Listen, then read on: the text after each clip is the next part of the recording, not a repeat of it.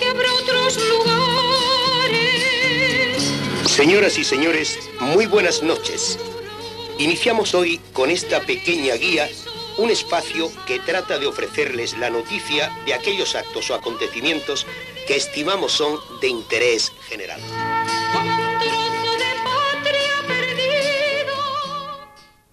Muy buenas noches y bienvenidos en este martes y 13 en directo a las 10 y media de la noche y un poco más a la cuarta temporada de Retrovisor. Y me van a permitir pues una licencia personal y es que este programa se lo dediquemos, eh, se lo voy a dedicar a darle ánimo a Dani y Eva, pero no se vayan a crear falsas expectativas, no tenemos imágenes de, nuestros primeros padres.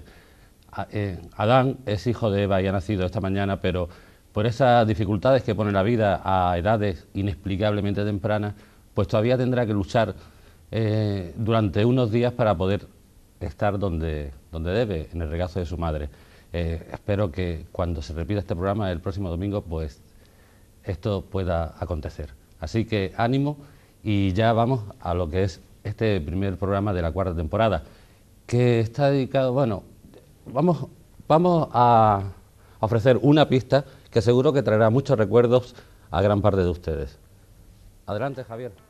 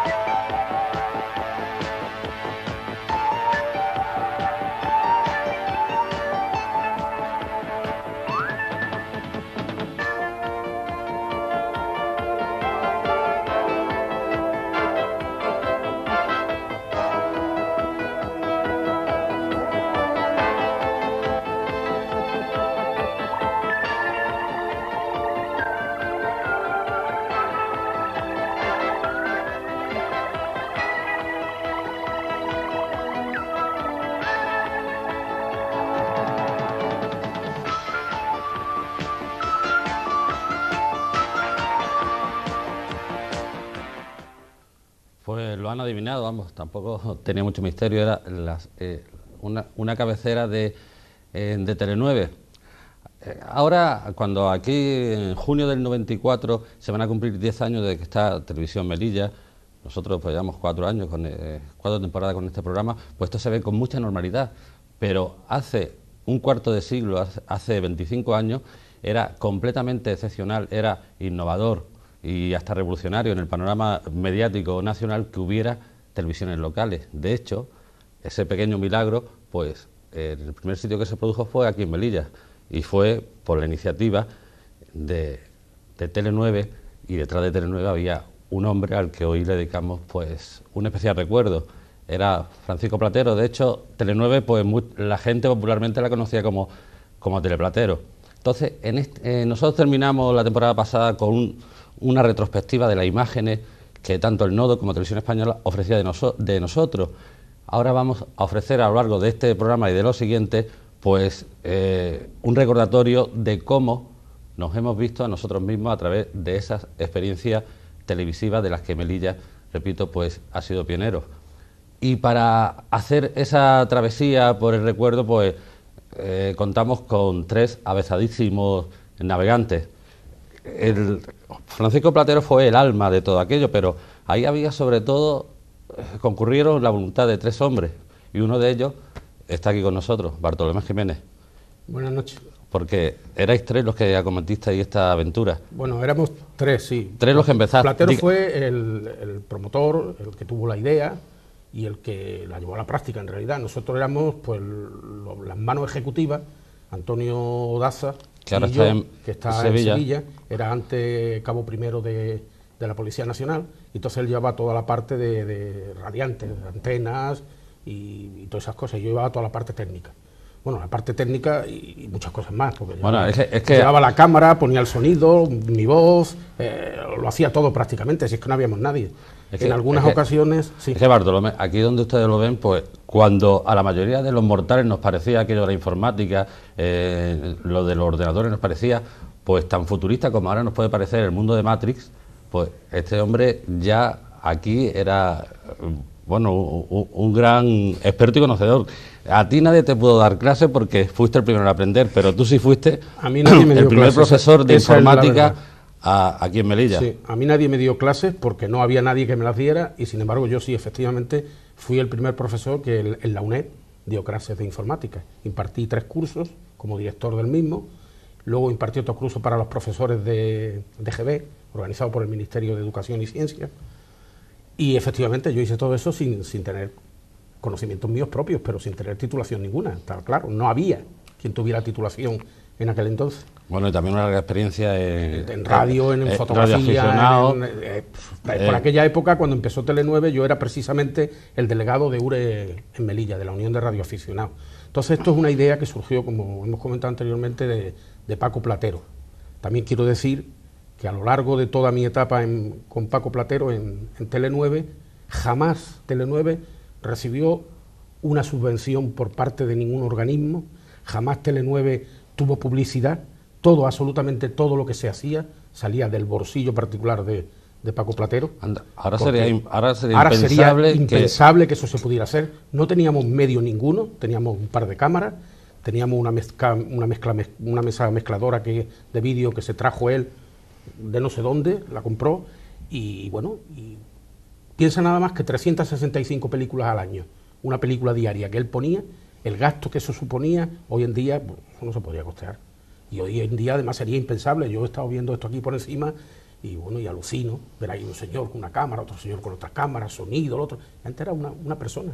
Bueno, para completar un poco eh, esta pequeña reseña biográfica de Bartolomé, digamos que también durante un tiempo pues fue secretario de organización tanto de UGT como del Partido Socialista hasta que bueno desapareciste un poco de la escena pública ha, estado eh, y ahí estás he pensado que la mejor política retirado del mundial en mi casa, mi mujer y mis hijos he pensado que esa es la mejor política y yo te agradezco muy especialmente que hayas venido porque sé que que esta retirada voluntaria.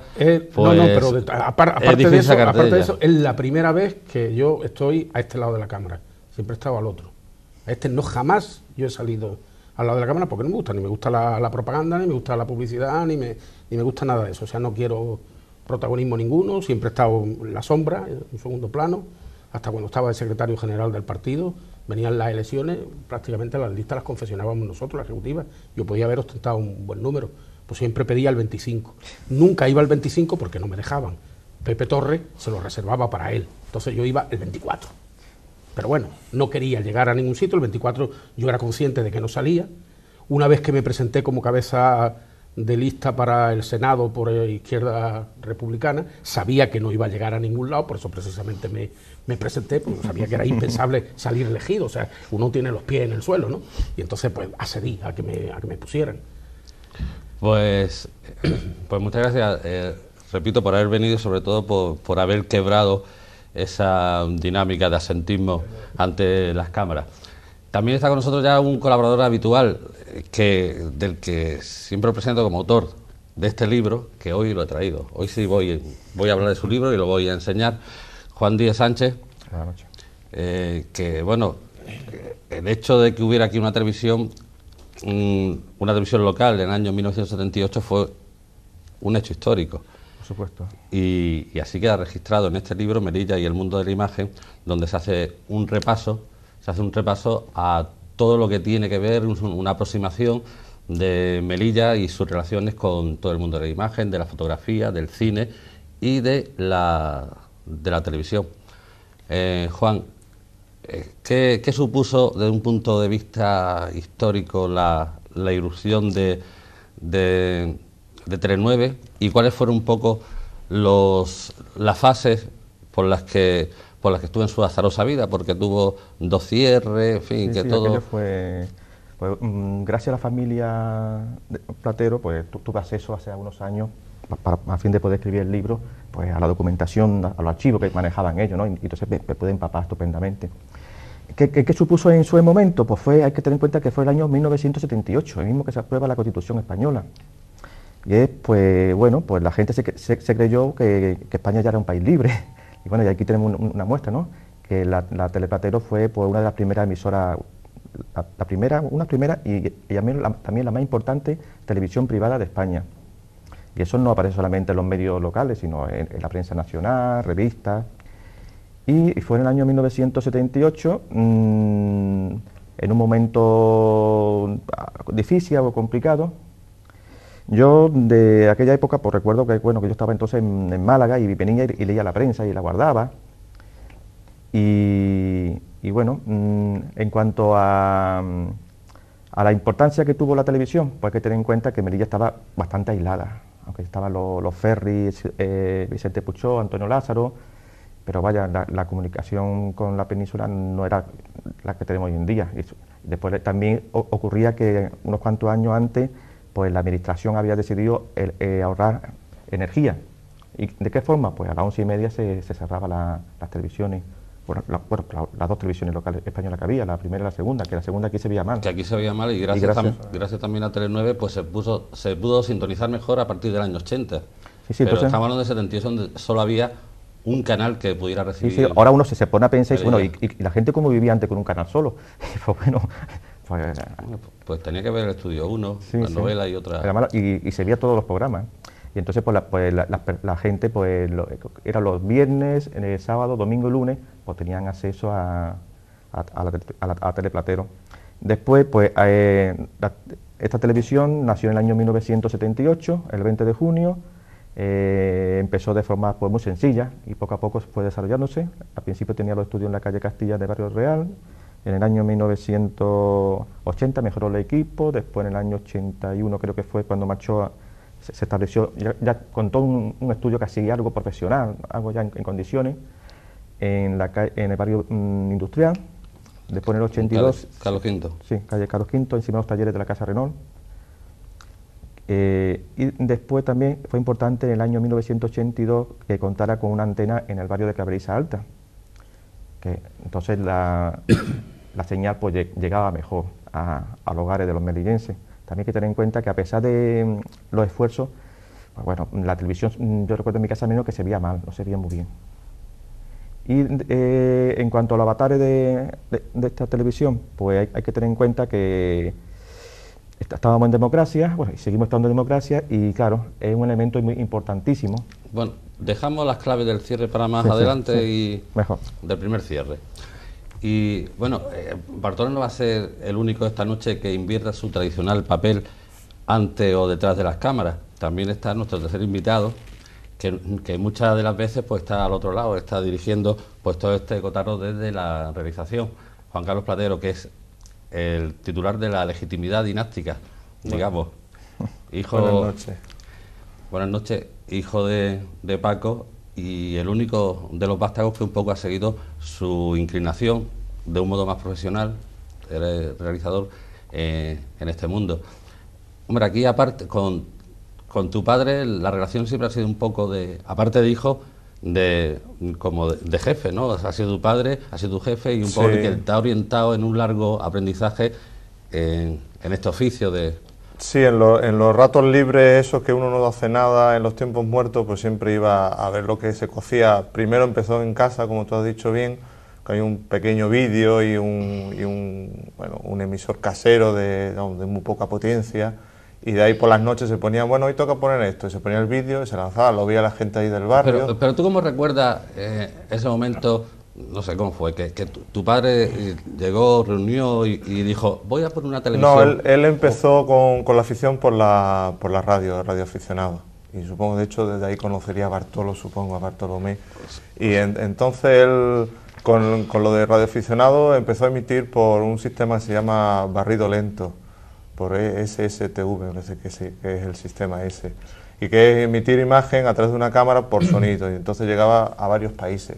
Y ahí empezó él a, ver, y dice, bueno, pues si yo puedo hacer por radio esto, eh, ir a Europa, a varios países a través de la radio, porque aquí en Melilla no puedo hacer más fácil, que lo vean aprovechar la gente de aquí, pues la televisión, que es una cosa que nada que una cadena entonces, y se le ocurrió eso, y bueno, con amistades, como ha dicho Bartolomé, y eso pues empezó así a, Porque eso de Tele9, el nombre viene precisamente de la denominación de la emisora de, radio. Del, canal que se emitía, que era, el canal 9 de VHF. EA9H. era, era, por los de A9. Por los de A9, ¿no? Efectivamente, sí.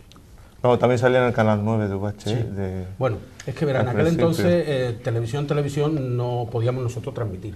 Nosotros podíamos transmitir, Paco Platero se hizo radio aficionado para buscar un, el cauce de salida legal a la, a la idea que él tenía de, de transmitir televisión. Entonces, el, radio aficionado transmitía por barrido lento. Pero luego más adelante salieron ya unos espectros eléctricos, radioeléctricos asignados para nosotros para transmitir televisión-televisión. Pero entonces no era la frecuencia de Tele9. Entonces, como dijimos, como Melilla es el indicativo EA9, Ceuta y Melilla es EA9, todos los radioaficionados españoles tienen la, la nominación EA, el Rey es EA0, que es radioaficionado, pues entonces le pusimos Tele9, EA9, o sea, que es la idea de salir. Y entonces nosotros salíamos en el canal 9 porque era precisamente un armónico, los técnicos que hayan por aquí sabrán de qué hablo, un armónico de, la frecuencia esa que nosotros transmitíamos legal. Entonces Tele 9 era legal. Estábamos transmitiendo como radioaficionados. Y, Por eso no había publicidad, no había propaganda, no había alusiones a nada, para que no nos pudieran decir nada. Y lo mismo cuando te propuso a ti, Paco, oye, vamos a hacer esto, pues es que ahí ninguno tenía idea, de bueno, porque... Teníamos una idea vaga, pero bueno, pues con, esfuerzo, todo a base de muchas pesetas por parte de él nada más, y esfuerzo de los demás. Nosotros empezamos de forma altruista, tanto Daza como yo. Yo no, yo luego, Daza y yo terminamos cobrando. Porque, claro, yo entraba a las, a las 8 de la mañana y había veces que iba a mi casa a las 4 de la mañana, cuando había terminado, cuando apagaba las luces y me iba a casa. Entonces, Paco comprendió que yo necesitaba mantenerme. Entonces me mantenía él, vamos, me pagaba un sueldo para que yo estuviera allí y todo corría de su bolsillo. ¿Y el artífice de, esa cabecera que hemos visto? Ese, esa cabecera la rodé yo entera, pero hubo un señor que vino de fuera que fue el que nos dio la idea. Entonces eso está hecho moviendo la cartulina, por supuesto. O sea, era todo primitivo, manual, y, bueno, y todo lo que se hacía. Ten en cuenta que llegamos a retransmitir una velada de boxeo desde la Plaza de Toro en directo que aquello en aquella entonces aquello era un esfuerzo tremendo el que se hizo. Y los partidos de fútbol se grababan todos íntegros. Y luego yo sacaba las imágenes más eh, elocuentes de ella, las más significativas, y venía entonces Antonio Caldera y padre, venía a, los estudios, y entonces cuando yo ya tenía hecho el montaje, él le ponía voz. El resto era la voz mía también. Y luego muchísimos programas, pues Juan Carlos cuando venía por allí, el hijo de Platero, nos ayudaba. Él, él también estuvo en un pase de modelo en el casino militar. Uy, a lo mejor eso. Desfilando, a lo mejor eso lo vemos, todo. O sea, que por eso te digo que, es muy largo, es que eh, eso es, extenso. Paco no era una persona que, le gustara. Luego ya en una, en una, mediana segunda etapa, que no era la primera primera ni tampoco la, la, segunda, sino dentro de la primera, es que la primera está dividida en, dos trocitos, pues también hubo hay otra persona que colaboraba con nosotros, que era eh, José, Miguel Morroyuela que este muchacho pues también era radioaficionado y también venía, también colaboraba, ayudaba, grababa algunas cosas, en muchísimos de los reportajes le ponía el sonido, Juan Carlos también le puso el sonido a muchísimo, o sea, pero eh, en realidad allí había el alma directora y realizadora que era Paco Platero y luego era la mano ejecutora que era yo. Lo demás eran todo colaboraciones. Y entonces manejar un teje-maneje como el que hay aquí, una sola persona, haceros una idea de lo que era, y sin medios ninguno. Aquello era artesanal puro. Bueno, además Paco Platero, como tampoco le gustaba mucho salir por ese delante de... No, no, no, ninguno, ni él, ni yo, ni yo, ni él, nunca hemos salido a este lado de la cámara. Por eso, ni hemos puesto nuestros nombres, ni hemos dado nada. Aquello era Platero, punto, y se acabó. no salía nada, no había... Era un lema que teníamos nosotros concentrado, o sea, concertado entre nosotros. Nada de vernos, nada de mostrarnos y nada de poner nombre. Y a, pues, mí me fue pues muy bien de esa manera. ¿eh? Bueno, pues gracias a Juan Carlos y a su familia que han tenido la amabilidad de cedernos algunas imágenes eh, familiares, pues vamos a conocer pues, algunas imágenes eh, inéditas de Paco Platero cuando era joven y lozano y después también conocer un poco la familia. Aquí lo vemos jovencísimo y, y este, soy yo. Y este me temo que es Juan Carlito. Sí. Ahora que aprendí a conducir, ¿no? Sí. tú eres el, tú eres el mayor, ¿no? El mayor de tres hermanos, sí. Eso será en el 62, cosas así. Que era tu padre el que llevaba la, la, cámara. La cámara, sí. Super 8. O sea, que ya le gustaba de... Sí, a mí. Tu, eh, tu padre como... Bueno, tu padre de Melilla, era, eh, era de Melilla, es que no lo acostumbramos a hablar de él como si se hubiera ido. Sí. Eh, él nació en Melilla como... No, él, proviene de familia de Granada, de un pueblo de, Granada, de Purchí. Pero vamos, él ha estado aquí de siempre. ¿Tus hermanos? Sí, eso es mi hermana y es un primo mío que está, que está afuera. Esa es mi hermana que está ahora mismo en Almería. Son primos. Ese es mi hermano, el pequeño, que ya tiene 32 años. Lo conocerán por Pancho, Pancho su Francisco Javier. Y tu hermana Loreto. Loreto. Son casi de la misma edad, ¿no? Los niños esos. Sí. Esos son primos míos. Ah. Eso es en Almería, en, Mojácar. Porque la familia de mi abuela es de allí y ahí pasábamos los veranos, en Almería. Eh, eh, era una constante, ¿no? Los viajes, tanto por Marruecos... sí, yo los primeros años de mi vida viví en Casablanca, porque él empezó a trabajar en la Casa Mercedes y los, hasta, hasta los dos o tres primeros años de mi vida estamos toda la semana allí y los fines de semana veníamos aquí, a Melilla, con mi abuelo. Ahí se te ve ahí en el, rinconcito a la izquierda. Sí. Es el cumpleaños de mi hermano. Ese soy yo un poco más mayorcillo. Ese es mi abuelo, que era de Segovia. Ahí lo vemos a mi padre también. Mis tíos, están en Canarias ahora.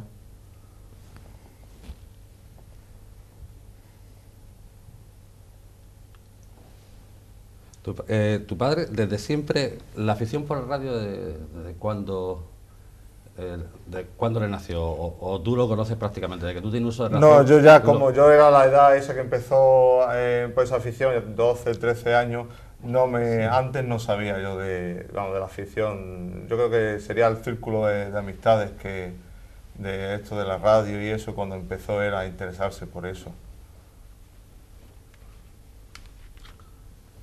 Y le vamos a pedir a nuestro compañero, mientras estamos viendo estas imágenes eh, familiares de, Paco Platero, que por se no olvida la sintonía con la, con la música de fondo, para un poco amenizar las imágenes con música, con música de fondo. Los años 60, Bartolo, ¿tú por dónde, por dónde andabas?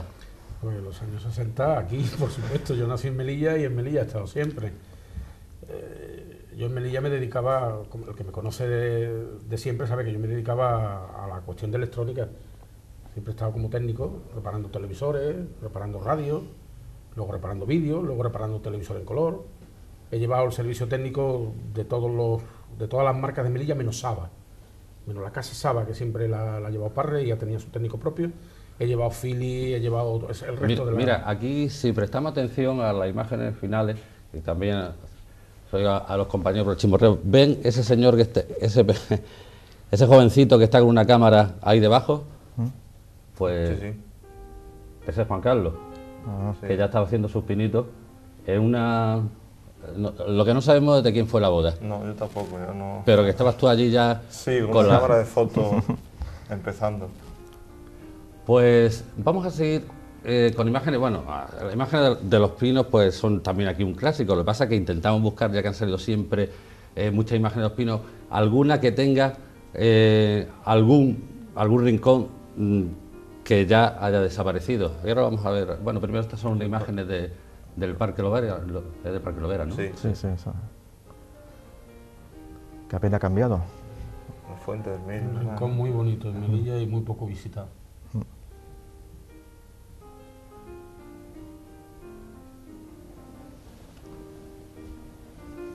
Esta quizás ha sido una... Bueno, aquí están los pinos y ahora, ahora van a ver ustedes un lugar que no sé, Bartolo, pues, Bartolo seguramente lo recordará y otros muchos hemos estado de chicos, pero hasta que no hemos visto las imágenes no nos ha venido el aldabonazo ese de, de lo que era ese rincón. Está en Los Pinos, a la altura de lo, mm, subiendo por Los Pinos, a la altura de donde ya se viene la bifurcación hacia la carretera de circunvalación. ¿Te acuerdas qué es lo que había allí? Sí, sí allí había un, restaurante. Sí.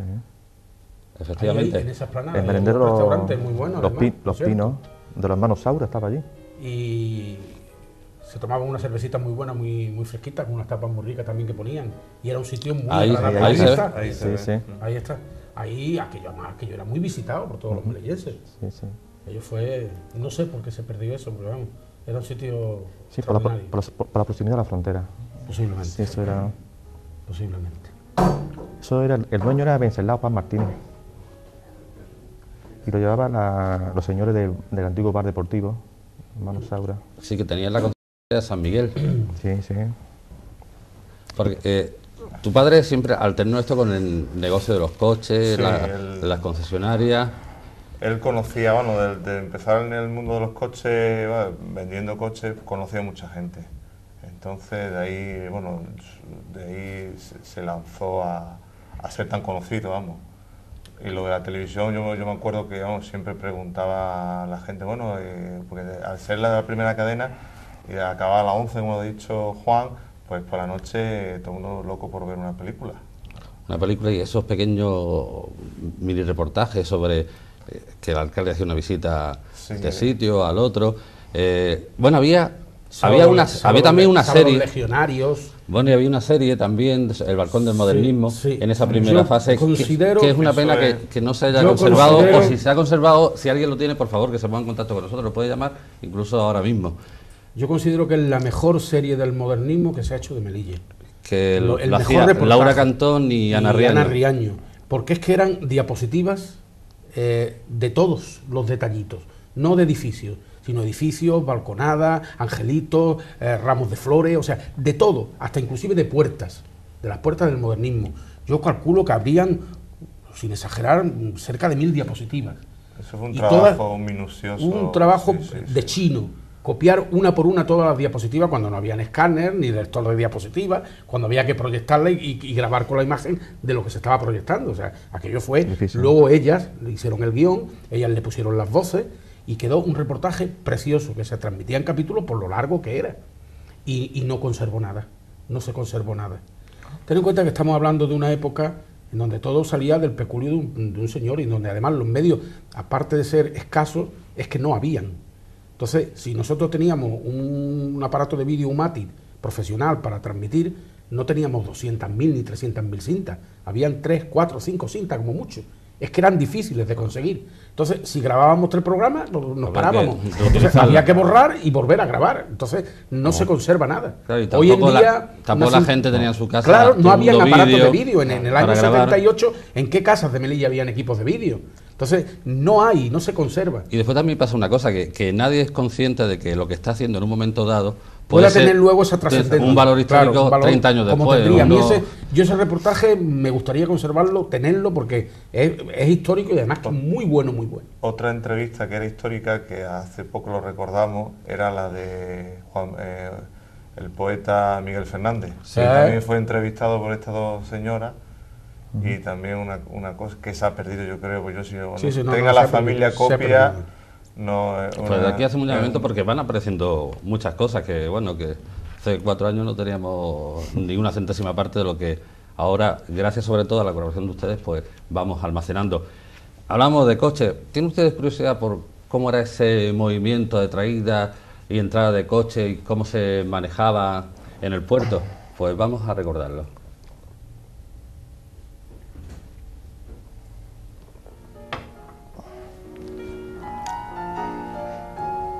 ¿Qué, marca de coche traía? En aquella época SEAT.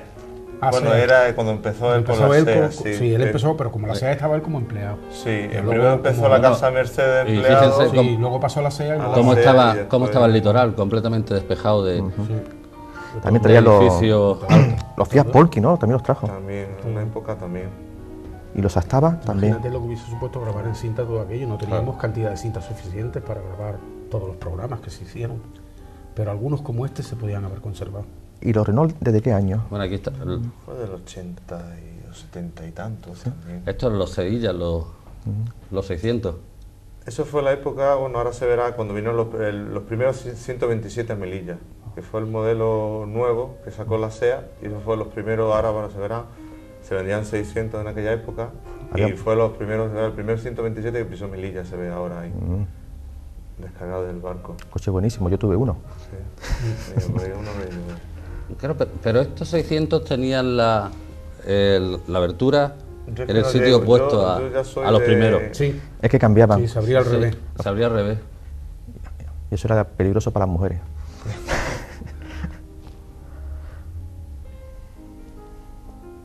bueno, pues ¿qué familia aquí no ha tenido 125, 600, 850? Como primer coche familiar. Mi familia tenía un 600 para a repartir entre tres.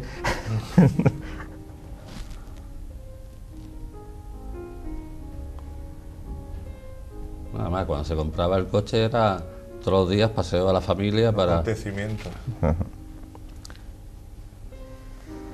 No sé, en aquella época no sé lo que puede haber un coche eso, pero no sé si serían 80.000 pesetas. Sí, sí, por ahí, por ahí. 65.000 costó el que yo el, el, concesionario de la SEA en un principio, ¿dónde estaba, Juan Carlos? Montera, estaba en la calle Chacel, en la mm. esquina de la calle Chacel. Ahí lo que hoy es de Rual. Sí. Rual, la esquina que hay en Chacel y la calle del Parque. Y antes fue Alemania. De Marina, la calle Marina. En la calle Marina estaban los, los, los, los talleres. Claro, es que entonces estaban los talleres en el centro. ¿eh? Sí, sí, en la calle Marina. la puerta central del parque, allí estaban los talleres. Además era chiquitísimo. Sí. Bueno, ahí para cada coche necesitaban cinco en la parte de arriba y otros cuatro abajo esperando. Eso era una, idea de los medios que había en aquel, entonces. Después muchos venían a, bueno, del trajín este, pues se apoyaban. Tenían, pues, después había que repasarlo. Ahí, vemos a mi padre.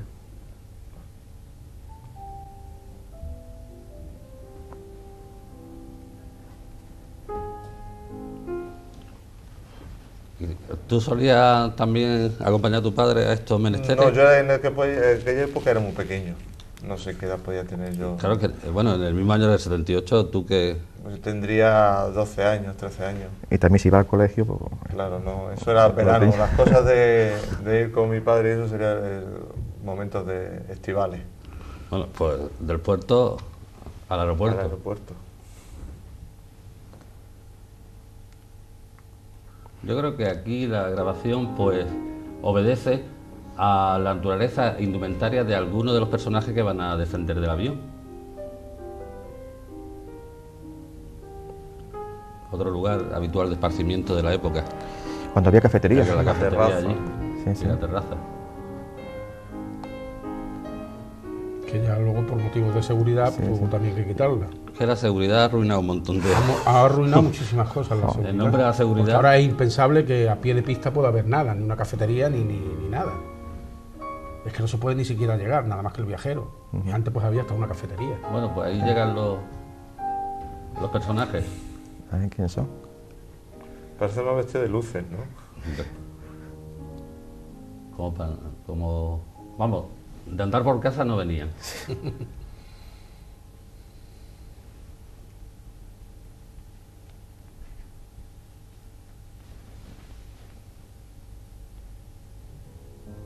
Oh, Y estas imágenes, pues, eh, son, eh, yo creo que los años 60, ¿qué es lo que tiene de particular? Pues que el señor que aparece ahí, que va a aparecer en primer plano, era ni más eh, ni nada más y nada menos que su excelencia de entonces, el caudillo. Y lo curioso es que le pudieran grabar al jefe del Estado a apenas 5 metros, un particular, pues, que supongo que era tu padre.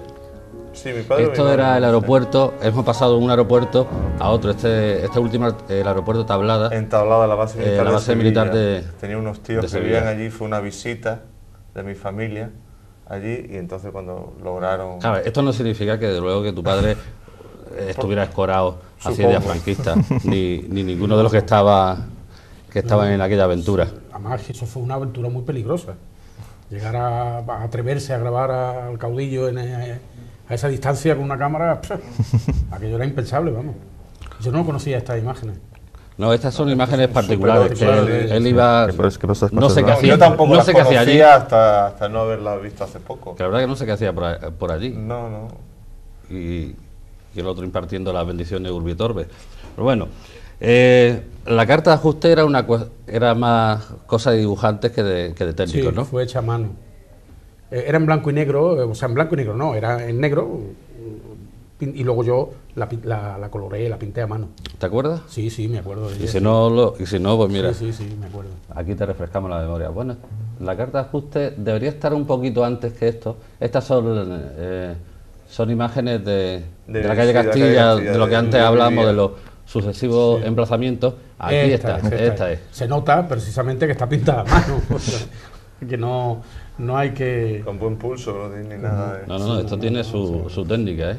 Sí, sí, sí. Y ahí, si, no, ma- si mal no veo, también pone Tele 9, ¿no? Sí, sí. Eso. Y don Bartolomé, usted fue seguro niño prodigio, ¿no? Porque con tantos conocimientos. Se puede, casi se puede decir que fuera un niño prodigio.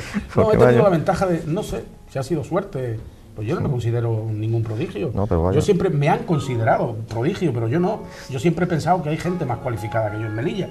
que, que yo haya tenido la suerte de que siempre se me haya considerado el mejor, pues no sé por qué. Porque en realidad no creo que sea cierto. Tampoco tiene usted Pero- mucha cabeza. He tenido. ¿Y esto? Ah, el tiempo. Mira, esto va con... El eh, tiempo. Javier, eh, Javier, vamos a volver a esta imagen, pero esta imagen de, de en que se ve el mapa del tiempo eh, lleva voz y, y además tiene su intención el que escuchemos desde aquí la voz que acompaña a esa, a esa- a esa imagen del mapa y de las previsiones meteorológicas que se hacían entonces. Supongo que era llamando al señor encargado de la meteorología y, Y que no lo viera y que lo diera, ¿no? Sí. Por teléfono.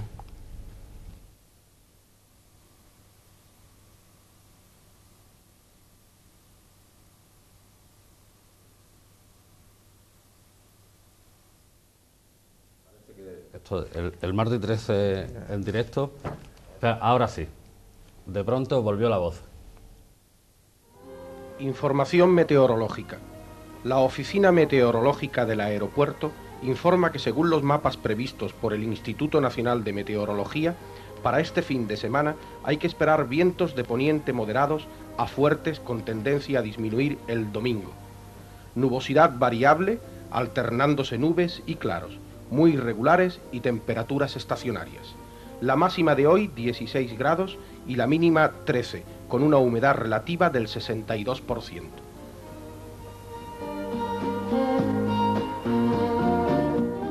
Bueno, la intención era reconocer tu Como, voz. como habéis podido comprobar, eh, corrobora que, que la voz era mía. O sea, la imagen era mía, la voz era mía y bueno.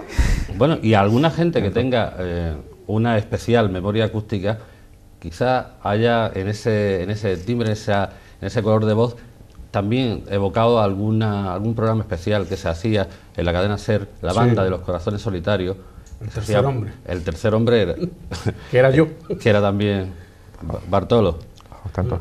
Aquella experiencia. Aquella, aquella experiencia fue muy buena, además. eh, Que hubiera una radio de Melilla Sí, que a las 11 sí. de la noche pudiera. Aquello sí fue una idea mía. Aquello sí fue una idea. Yo estaba colaborando en Radio Melilla como técnico, siempre como técnico. Pero aquello de que, bueno, pues que se cortara la emisión de frecuencia modulada, que era la que oía la juventud. Yo entonces no era tan joven, pero era joven. Y entonces hablé con Moriche y le propuse que por qué no. Agustín Moriche era el director. El director, que por qué no me permitía a mí, sin hablar, sin decir nada, simplemente pues por seguir poniendo música joven por la noche. Y entonces la FM era lo mismo, el gasto era nulo. Entonces pues me lo concedió. Y después de la banda de los corazones solitarios, que terminaba la emisión de la frecuencia modulada, empezaba yo con el programa del tercer hombre y estábamos pues hasta las 2, las 3 de la mañana poniendo música.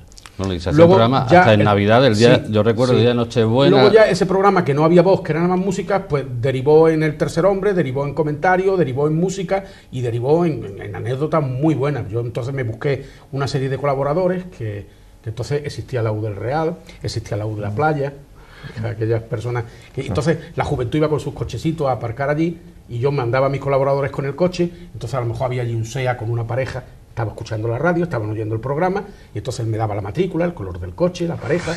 Entonces yo desde el estudio, desde el estudio decía, bueno, pues esta canción la vamos a dedicar a la pareja que está en la U del Real, con en un SEA, matrícula ML, lo que fuera, y, y bueno, para que pasen una buena noche y estén en compañía nuestra. Claro, imagínate esos señores, porque enseguida se Eh, hombre. quedaban petrificados diciendo, ¿esto qué es? ¿Dónde Ese era el gran hermano de verdad. Eso, ¿Dónde está escondido? Allí, allí buscaban a ver dónde estaba el, el que le daba la, la noticia al tercer hombre. Y Bueno. entonces intentaban encontrar a ese tercer hombre. Y no. Yo cuando terminaba la emisora apagaba y me quedaba dentro. Y como a la hora o cosas así, abría la puerta y me iba a mi casa. O sea, nadie vio nunca mi cara, nadie sabía nunca que- yo era aquel tercer hombre. Y la banda de los corazones solitarios, que fue un auténtico fenómeno Sí, sí, eh, sí, sí, sí, sí. en la ciudad. En la ciudad organizó aquello un fenómeno muy grande. Todos los días de las 11 a las 12 de la noche. Ve, pues, y esto es lo que estaba hablando antes aquí con el, con este señor, que, que yo no he, no he sido, que bueno, que me han ido viniendo las cosas así y he sido pionero en todo. En, en cuestiones de informática lo mismo, página web, eh, la primera que hubo en España a nivel personal, eh, ojo, cuidado, eh, fue la mía. Ahora mismo, a nivel personal, en informática no hay ninguna web, nada más que la mía. Melilla tiene una web, o sea, es una página mm, en internet, pero por teléfono. O sea, si ahora cualquier persona coge un teléfono móvil que tenga eh, conexión con, eh, con GPR, se va a bartolomejiménez.com por el teléfono y, y, bueno, ve la lotería de Melilla, ve las farmacias de guardia de Melilla, ve las carteleras de Melilla. Eso ahora mismo no existe en ninguna parte de España a nivel personal, nada más que aquí. Y lo he hecho yo para Melilla. Siempre todo lo que he hecho es para Melilla. Y la primera página web que salió publicada en internet fue dedicada a Melilla. Y yo no le he dado publicidad a ninguna, ni, ni nunca he dicho nada. Sí recogió algo, el, el- me parece que fue el telegrama de Melilla en su época, porque bueno, la vieron, aquella página, y bueno. Bueno, pues dicho queda, queda para que ustedes pues buceen ahí en, esa, en esas páginas. Y eh, estamos eh, en el año 85. El año 85 se supone que era un periodo en el que eh, no emitía, después de- entre el 83 y el 87 hubo ahí una época en que no emitía, pero mm, dado el sentido que ahí sí eh, tuvieron, en este caso tu padre, el sentido y- histórico de reflejar un acontecimiento que, que- que de otra forma hoy aquí no tendríamos ningún testimonio, que fueron aquellas inundaciones de- del año 85, aquel temporal, que además ha venido, que ha- eso te lo has traído preparado. Sí, sí. Son imágenes que los que son seguidores de este programa eh, lo han visto, lo han visto en otro contexto, pero yo creo que por su interés, por el impacto y por la oportunidad eh, eh, de estar ahí, pues merece la pena que, que- que recordemos cómo fue aquella, que fue el día exactamente, 25 de febrero. cayeron 200 metros, eh, 200 litros por... Mm, la prensa decía 200, 200 litros y después, según el observatorio meteorológico, decía unos 180. Pero claro, esto depende del lugar, ¿no? Pero Pues fue una gota fría impresionante y ahí están sí, sí. imágenes. Esto, ¿cómo, eh, si no, no estáis funcionando, cómo fue la idea de, de salir a la calle? Bueno, estas imágenes fueron, nos fueron cedidas por un videoaficionado de los pabellones militares del Real. De la, esa es la calle que Jiménez, baja- Jiménez Iglesia. Jiménez Iglesia. Antigua calle Mezquita, porque por ahí pasaba el arroyo Mezquita, Exactamente. que por eso llevaba tanta agua. Y entonces eso, al tiempo, bueno, pues con eso, como todo el mundo conocía lo de la tele de Platero, pues se pusieron en contacto con nosotros y, y volcamos las imágenes de- del vídeo aficionado. Y nosotros grabar lo que se verá posteriormente, está grabado en Numatic, como el equipo siempre lo hemos tenido más o menos en funcionamiento, con eso de que no se deterioren por estar parados, pues me eché yo a la calle con un amigo y fue pues grabar lo que pudimos. Se había grabado más, pasa que lo- los, vídeos, como siempre pasa, pues bueno, no la mitad no se grabó bien, con rayas, pero vamos, lo que se verá más adelante es un testimonio que, que queda ahí. Yo, yo recuerdo que ese, día, a las ocho y media de la mañana, eso lo vi yo personalmente, porque fui a, a llevar a un vecino al aeropuerto y de ahí no pude pasar. Me tuve que dar la media vuelta. Yo también lo vi personalmente porque vivía en la calle Castilla y uno de los coches, bueno, eh, inutilizado por el agua. Y lo curioso es que después en el centro, Bueno, fue también Nada. fue una buena cosa para, para los concesionarios ¿no? de coches. Pues supongo que sí, pues, Que- la limpieza y el cambio de vehículos, que Y- Perdona, Juan, que, que te he interrumpido. no, nada, de- eh, decía que bueno que, que el, el principal susto se dio en el barrio del Real. eh, y bueno, y concretamente en el grupo Gómez Jordana, más conocido como eh, Ah, el canal de Hay Suez. imágenes también. Era una ¿Sí? calle sin salida. sí, sí, también sí. la vivienda del campo de fútbol, el Ah, barrio sí. se caía abajo. Sí, sí, la zona de nada. calle Japón, los conguitos. Exactamente. Ahí también hay imágenes en las que grabamos la- el agua un par de metros dentro de las casas. Pero que es que... Eso, si no se ha visto, no es impresionante la, la fuerza que arrastra es curioso, es que también es que unos cuatro días antes hubo otro temporal Sí. de 170 litros por metro cuadrado. Y claro, si resulta que ya el suelo estaba mojado, pues bueno, ya el, el agua que llovía rebalaba. Y, Y, bueno, y por aquel coincidió. entonces no estaban encauzados. No, no, ni hasta los de 7 eso. 8 años después no se encausó.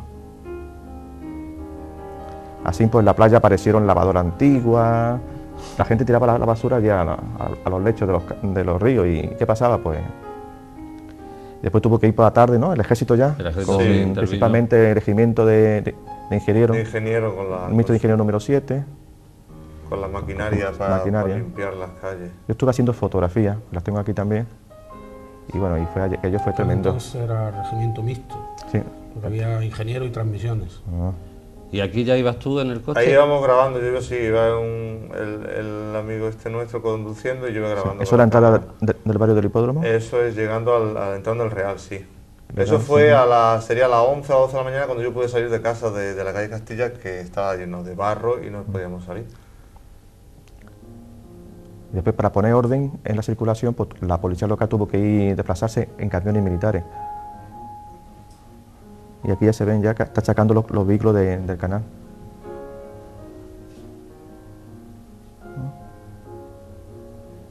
Y en aquel tiempo además no había ningún tipo de prensa. Porque Estaba- coincidió, igual que ahora, ahora que tenemos tanto, en aquel, eh, en aquella Estaba- fecha el telegrama ya había dejado de funcionar en el año 84 y el Melilla hoy le quedaban Al- unos al meses, pero tiempo, hizo, pero hizo, se adelantó en una edición especial que, que ahora cuando pase las imágenes le vamos a ofrecer. Ahí fueron 27 los vehículos, bueno, hay fotografías de Esteban Soria que se ven uno encima Sí. de otro. Y después, Sí, en, cuanto, en cuanto a la prensa, estaba el- los suplementos de, dedicados a Melilla de- del Diario Sur y el Melilla Sí. del, el del Diario de la Costa del Sol. Pero vaya, que la información que ofrecían era, era escasa. Y en Melilla hoy quien hizo la crónica fue nuestro eh, querido amigo Ángel Morán. Ángel Morán y... Pero es que la plantilla era también reducida, estaba Ángel Morán, Miguel Gómez Bernardi y de fotógrafo Pe- Pepe, Doménez. Pepe Doménez. Mira, aquí se ven los, los vehículos. Amontonados. Eso en, en la calle En el canal. Jordana, Sí, ahí el canal, grupo. Jordana. Es que al fondo había una puerta chiquitita con unos barrotes de hierro, Un, pero muro, claro, un muro con un... sí, sí, pero eso, eso enseguida se cegó y ahí por el agua no, no, pues no salía. No sé si tuvieron después que hacer una brecha. Ahora me parece, ahora no hay nada, ahí, ahí, ahí está, la, no sé si hay una, una valla, pero ya el muro lo quitaron. Yo creo que a consecuencia de esto. Sí, sí, ahí, Pero y al otro lado del muro están las nuevas viviendas. aquello fue... ¿Y a ti, Bartolo, por dónde te pilló? En mi casa. Además, toda la calle Villegas estaba también totalmente inundada. Llegaba pues casi casi al- altura de, los balcones, de las ventanas de las casas. Se inundó Melilla entera. Yo tengo fotografías de, esas inundaciones donde está la calle Villega totalmente inundada. Pues mejor era como metro de, agua o cosas pues Yo fui hasta la calle Cervantes sin, sin problema, por el puente de, de, Camello, el Tesorillo. Pues Villega estaba totalmente inundada. Eso por la proximidad al Río de Oro, porque también se, se, desbordaría. Juan Carlos, y entonces, ¿estas imágenes cuándo se pudieron emitir? Esto no sé si habrán emitido a partir de, de la siguiente época, 87-88 sí se logró emitir. Ya no, en aquella época no funcionábamos, solo las cosas importantes se, grababan. ¿Y este el arroyo Mezquita? Ese fue lo que se desbordó. Sí, que se ven ahora, los, se verán los ojos del puente pues cegados. ese era el, puente del matadero. El matadero. Sí. Eso es la playa, las alcantarillas de la playa. En, la, playa también hizo un desaguisado. Sí, se ve, se ve ahí. Hizo brecha de hasta un metro de profundidad. Claro, fíjate a la altura que queda el alcantarillado. Está por debajo. Claro, es que no se ve. Eso también la desembocadura del Río de Oro. Y junto a donde estaba antiguamente el Club de Suboficiales, sí. pues también aquello fue... Ves una alcantarilla echando agua. Mira el suelo a la altura, o sea, por debajo de... No, no hay nada ahí. y eso ya será por la tarde, al mediodía. Eso al mediodía a la altura ahí del edificio Antares, creo yo. Más Afortunadamente no hubo ninguna víctima que lamentar. Ese día no, pero cuatro días antes sí. Hubo un soldado que le cayó encima un muro. Y eso, es, en la calle Japón. Mm.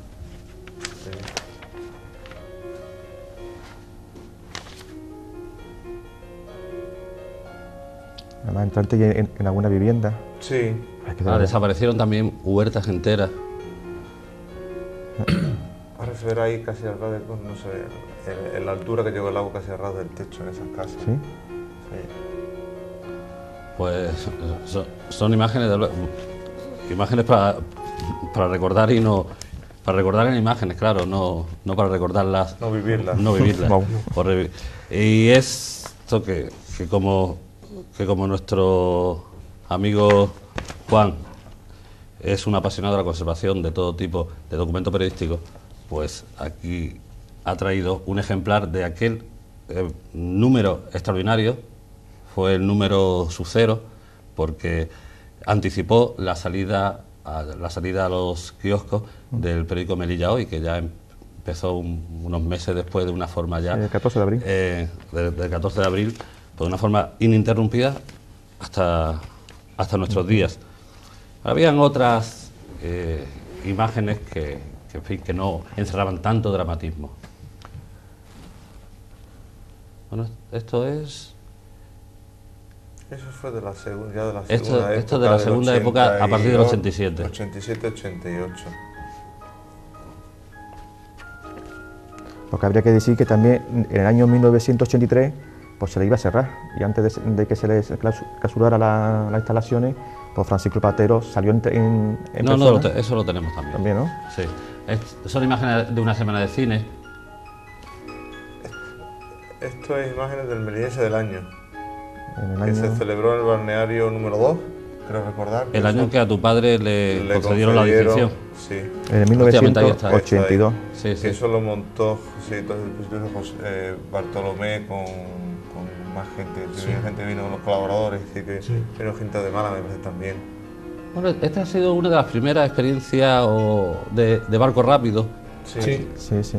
Entonces, por, lo curioso de que, es una de las primeras pruebas,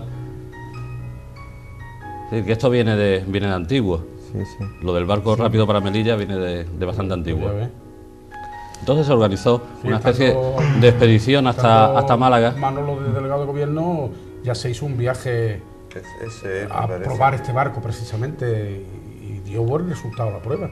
Lo que yo no sé luego por qué no se lleva a efecto. a lo mejor por eso, porque dio buen resultado. es posible. Además, esto me trae recuerdo porque fue mi primera colaboración con la prensa, a raíz de... Del barco. Sí, escribí un artículo que, que mm, se equivocaron en, el nombre. Eso es normal, es el bautizo de prensa. Y, venía a decir que se podía utilizar para hacer trayectos hasta Ceuta y ver los peñones en plan turístico, ¿no?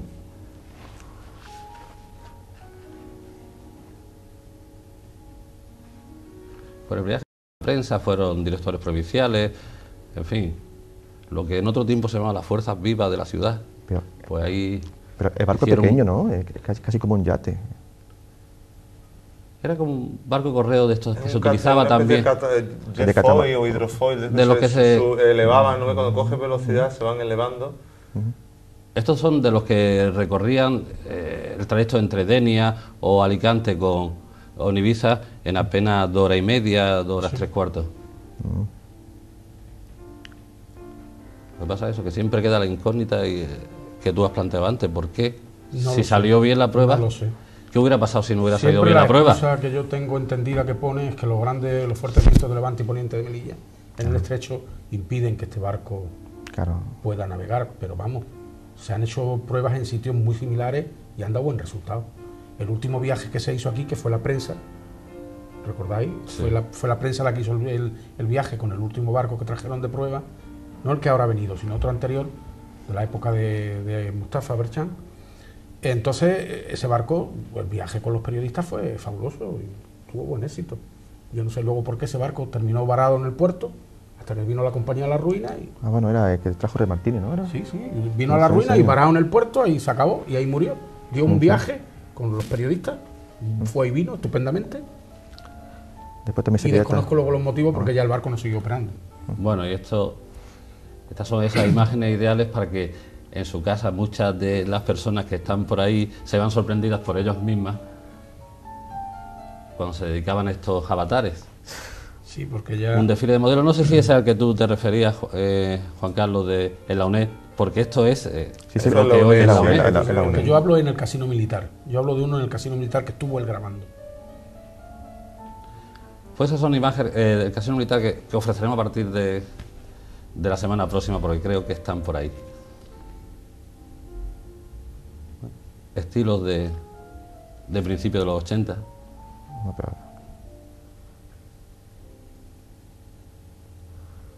Además ya destacaba él como cámara eh, y lo hacía muy bien. Lo que pasa es que claro, era pequeño y te, estaba estudiando y venía pues cuando tenía un rato.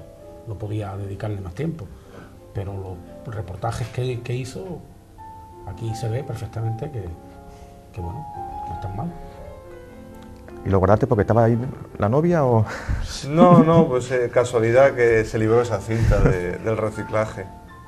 Pero ya en esta época como esta, es, me parece ya del 88, ya ahí sí había un poquito más de archivos, se guardaban un poquito más las cosas.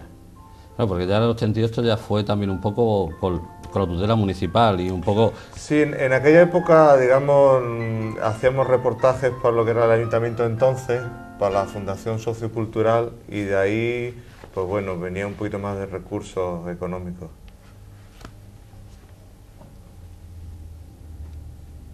Se graban semanas de cine, teatro, ciclos de teatro que había, compañías foráneas.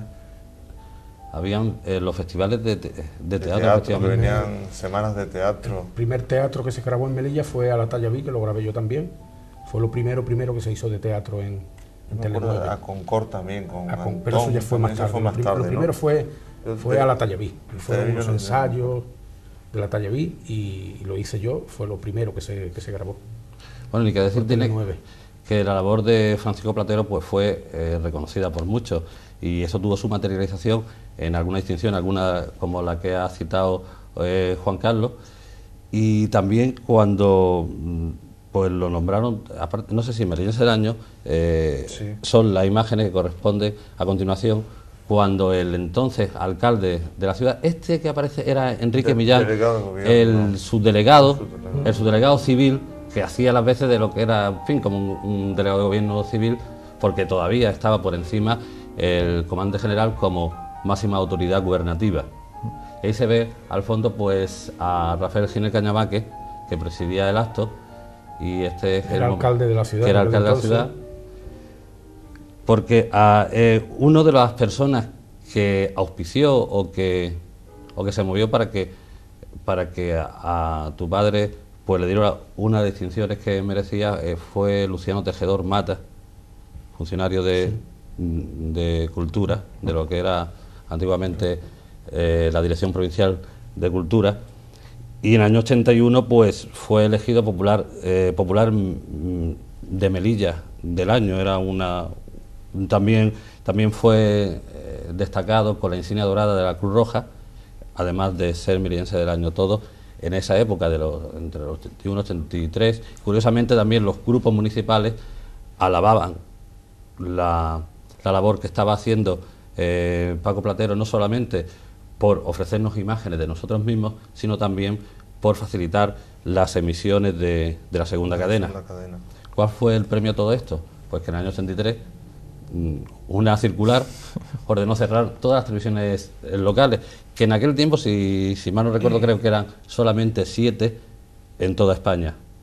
En fin, incluso algunos de los que apenas meses antes, pues públicamente en algún pleno habían eh, alabado la función social de, la tele, de Tele 9, pues eh, auspiciaron o certificaron el cierre, lo que provocó pues fue un, gran, un cabreo contenido de la población que la verdad... yo recuerdo aquello con pesar porque en este Melilla cada vez que alguien destaca por algo, cada vez que alguien hace algo y tiene visos de triunfar, salen enseguida muchísimos imitadores que quieren hacer lo mismo. Entonces por aquel entonces había quien, no vamos a dar nombre, decía también, quería tener también una televisión privada. Entonces había una lucha de que por qué ese sí y yo no. Entonces, mm, por eso fue más que nada por lo que lo cerraron. Si no, aparte de la circular, en Melilla no cierran Tele 9 porque era un clamor popular que eso lo querían. Delegados de gobierno, alcaldes, autoridades, nosotros los que estábamos trabajando, todo el mundo. Pero claro, ante un señor que dice yo tengo el mismo derecho, pues aquello se cerró. El que tenga memoria sabe quién es, pero bueno. ¿Por qué recurramos al historiador? ¿Por qué se cerró realmente? Mi, mi, versión es, bueno, es complementaria de, la de Bartolomé, es, porque esa medida fue a nivel nacional. Entonces, no sé, sería por cuestión política, habría una lesión inminente, y entonces pues, eh, a todos los delegados gubernativos le mandaron la, nota de que, bueno, de que las televisiones locales había que cerrarlas. Sí, pero la de Melilla no trascendía a ningún sitio. Se, veía aquí, las locales mm, pasaban en la península, podían llegar un poquito más lejos, las de aquí no. Y entonces aquello era un poco que había alguien que quería otra. Y vamos, de hecho tenía prácticamente los equipos comprados y todo. Claro, pero es lo, que, es lo que pasa aquí, que en vez de, eh, digamos, aumentar la oferta y decir, bueno, pues yo quiero hacer una, pues voy a hacerla, pero no necesariamente a costa de... O vamos a ayudar a la que hay, vamos a ayudar a la que hay, vamos a levantarla, vamos a apoyarla, vamos a hacer una más grande, porque no tiene sentido dos televisiones privadas en Melilla. Después no hubo. No, no hubo, claro. Eso supongo, Juan Carlos, que fue uno de los golpes más duros, ¿no? Para tu padre. ¿Tú cómo lo viviste en la casa? Yo me acuerdo el, el, día aquel que se puso delante de la cámara por primera vez, como que Bartolo supongo que se acordará también. Ahora lo vamos a ver. Y ese es un día que, bueno, no le salían las palabras, porque fue a un, pesar suyo que no, no sé si la, la determinación fue suya solo o con el resto del equipo.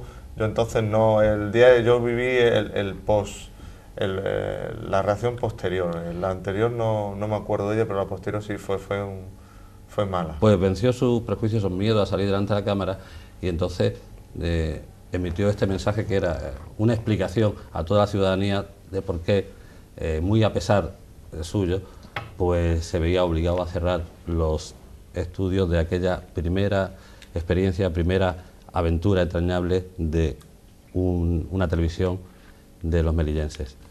Y estas fueron sus palabras que naturalmente escuchamos con el audio original. Me presento por primera vez entre el 9 para una triste noticia. Decirle adiós después de una permanencia de cinco años, de muchos sacrificios, de muchas horas de trabajo Quiero agradecer a todas aquellas personas que han estado conmigo luchando para intentar distraerles de buen corazón en todo lo que hemos podido. Indudablemente todo lo que hemos hecho lo hemos hecho por ustedes, por los melillenses, por el pueblo de Melilla y por mi tierra, que es Melilla. Desde luego,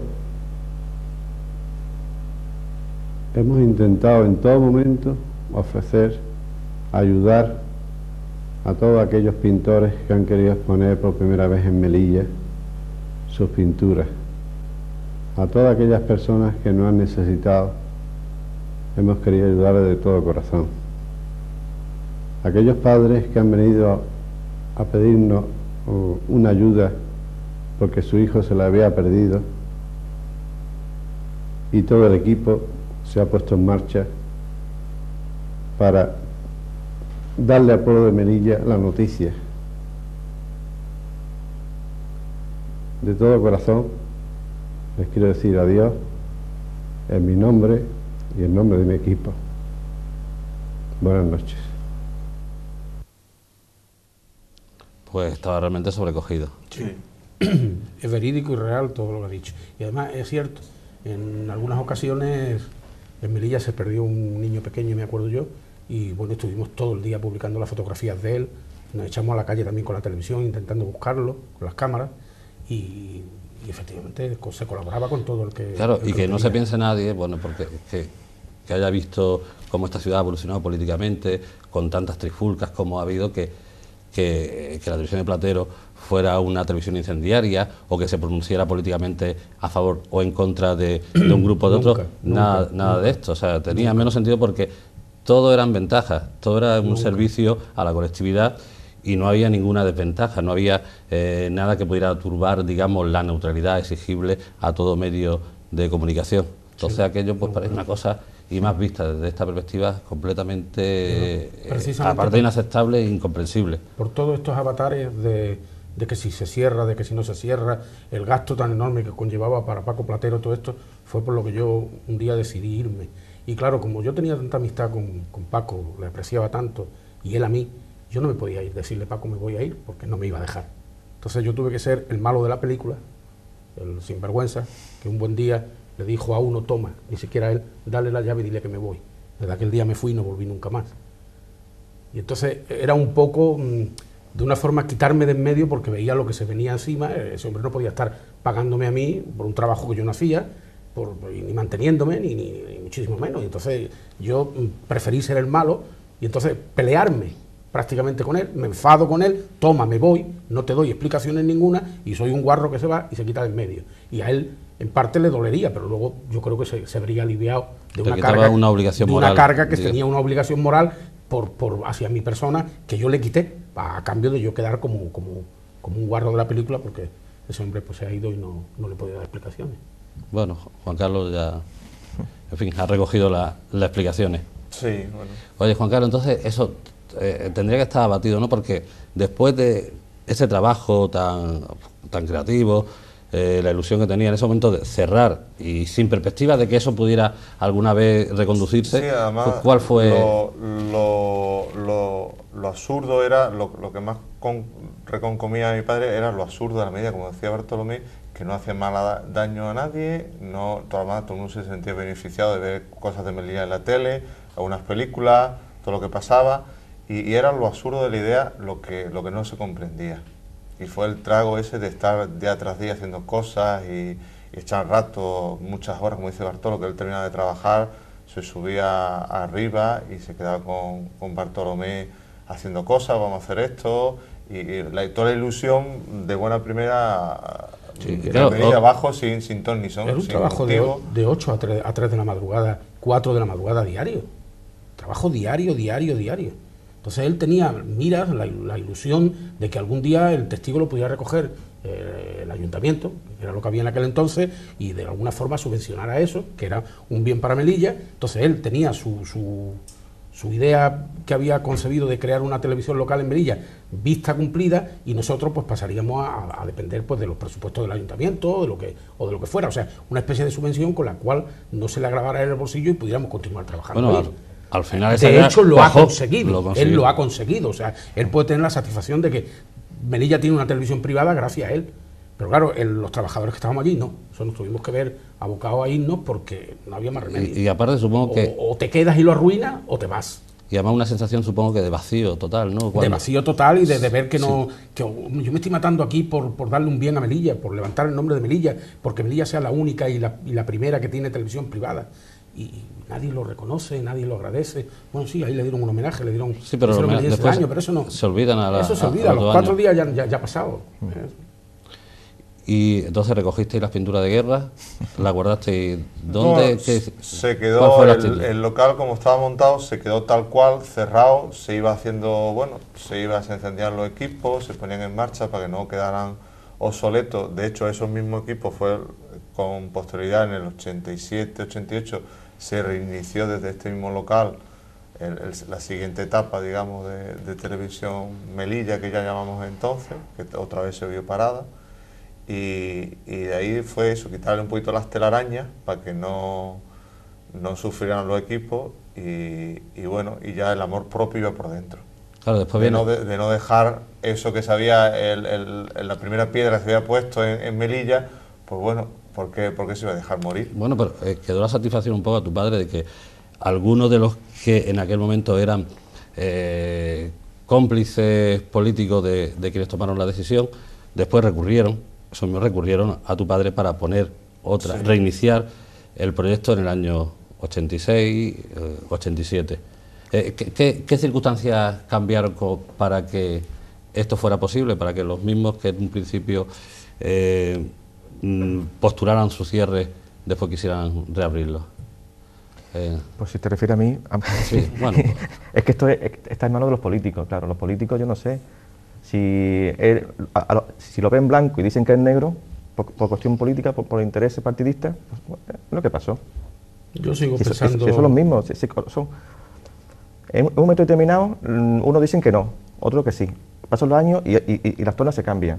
Si los socialistas dicen que no, los populares dicen que sí. O sea, bueno, de hecho, eso fue? es que de hecho después, en esta segunda fase, eh, si el primer cierre un poco estuvo auspiciado por, por los socialistas, en la segunda, el segundo cierre fue por el Partido Popular. es decir, que no. AP me parece que Alianza Popular, efectivamente.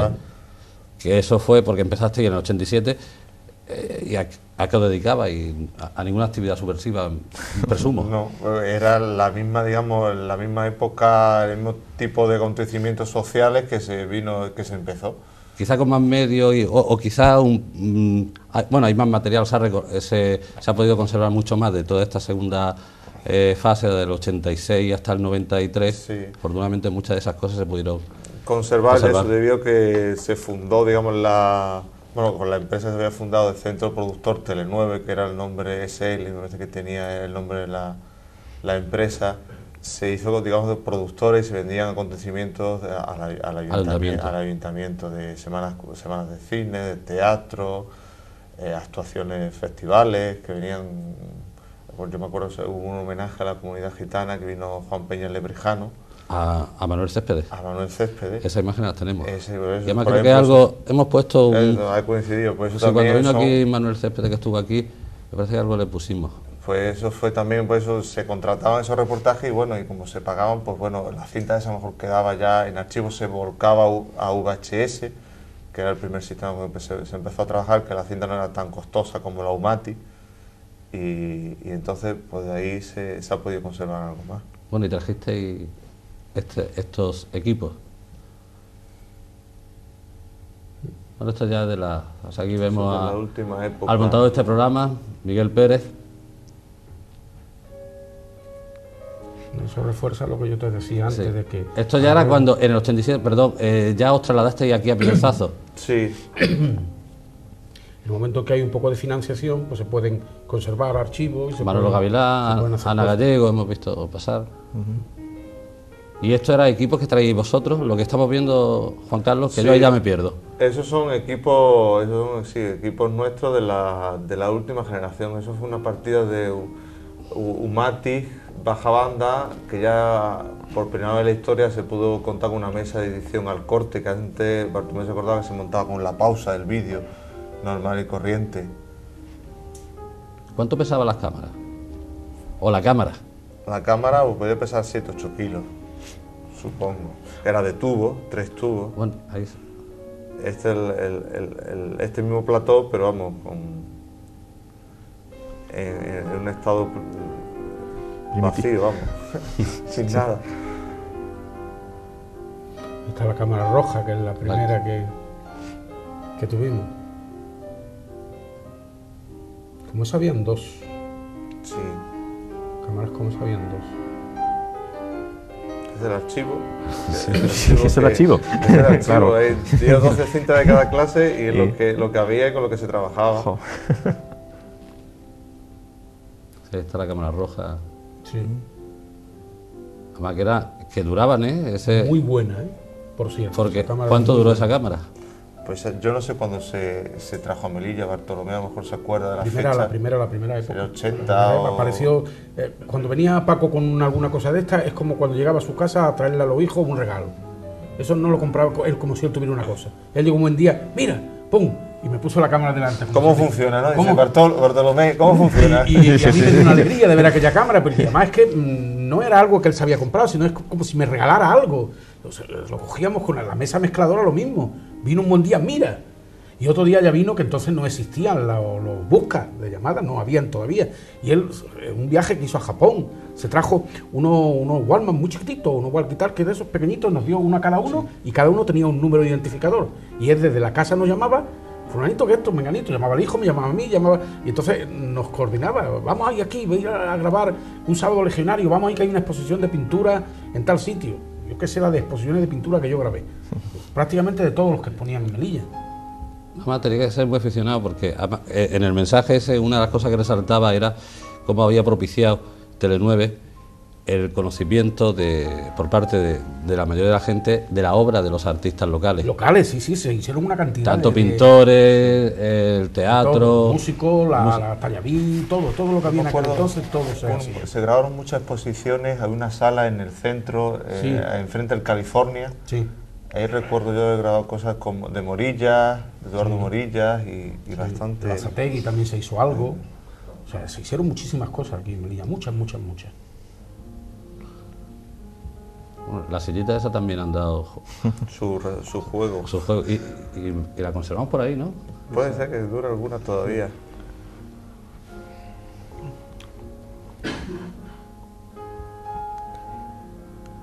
Y enfrente de California te refieres a, la heladería California, ¿no? La Galería California Sí, que sí. hacía esquina, Sí, sí, una sí. sala que encima. Un, un local de la antigua falange, o algo, que, que era de los... de- Bueno, pues ya las últimas voluntades o las últimas palabras antes de despedirnos, que tengo que decir que nos vamos a despedir con la, bueno, pues con lo que es la cabecera de este programa, que lo hemos dicho algunas veces, pero por si alguno se ha perdido alguna vez la explicación, la cabecera corresponde a los informativos hablados que se, se hacían en Telenueve en la primera época y la voz, también lo hemos dicho algunas veces, era de José Peláez, que estuvo no hace mucho tiempo aquí entrevistado por nuestro director Juanjo Medina. Y Jo- José Peláez, que fue el primer eh, radiofonista que dio noticias independiente con e- ese boletín informativo en la cadena SER y que ponía la voz a las noticias que ahora veremos, ahora oiremos algunas de las con noticias. Con, las paredes cubiertas de cajas de huevo para insonorizar. Sí, sí, eso se hacía en la, en- en la radio. Eh, En la radio De los tiempos de, estamos hablando de Donner, Eso, de la calle Donner. Royal. Allí el, el- el- el estudio estaba forrado de, de cajas de huevo. Así que, Lo precario Seguro que que- era. bueno, Bart- em, Bartolo, si quieres decir alguna... No, muchas gracias por haberme llamado y haber acordado de mí. Y me ha gustado venir a recordar esto porque lo tenía totalmente olvidado. Porque no. Pero yo creo que es justo rendir Pero- tributo a los que nos han bueno, precedido pues sí, es en, cier- esta, es cierto. eh, eh, en este bueno. oficio, bueno, pues de, de contar las cosas que pasan, en este caso a través de las hayáis- que imágenes. me invitado y, y- y es la primera vez que estoy aquí y no creo que esté mucho, pero bueno. Pero eh, espero que no sea la última. Eh, Juan, Pues bueno, pues para mí ha sido un, un honor haber podido hablar con, con Bartolomé, así como con Juan Carlos, ¿no? Y, y que te acordara para recordar a don Francisco Platero, pues en mi persona, ¿no? Un, un hombre que, que- que dio tanto por Melilla, bueno, y, y recordarlo, pues mira que es una obligación de los melillenses. Juan Carlos, yo supongo que tú lo recuerdas todos los días. Yo sí, desgraciadamente no puede estar aquí en este momento, pero bueno, puso un grano de arena como, con gente tan, tan buena que le ayudó como Bartolomé y gente que no está aquí en Melilla ahora. Y bueno, y de ese grano de arena ha salido esta playa en la que estamos ahora. Y bueno, y que Pues- siga adelante. Pues vamos su a, idea. a zambullirnos en ella con, con, este, con esta cabecera de retrovisor, pero en versión íntegra. Y a ustedes pues nos despedimos hasta el próximo martes. Eso sí, que se- bueno, el próximo martes que seguiremos con imágenes de Tele9. y si han llegado tarde saben que tienen una segunda oportunidad el próximo domingo a partir de las 6. Muchas gracias y gracias a vosotros.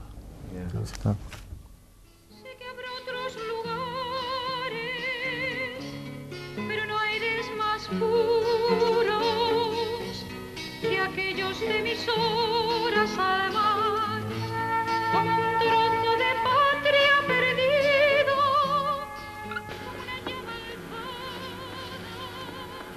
Señoras y señores, muy buenas noches.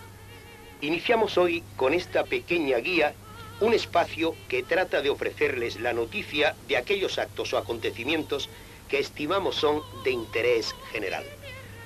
Anunciarles en primer lugar que el próximo martes, día 2 de marzo, Tele9 emitirá íntegro el gran espectáculo de anoche en el Auditorium Carvajal, donde fue proclamada reina del carnaval la señorita Inmaculada Alméfija, presentada por la Asociación de Vecinos Unidad del Barrio Real.